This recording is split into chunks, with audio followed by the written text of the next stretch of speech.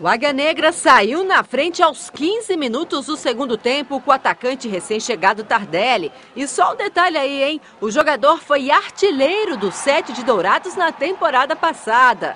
E aí teve gol anulado do Águia Negra e depois começou a virada. Primeiro dos pés do meio atacante Ariel aos 32.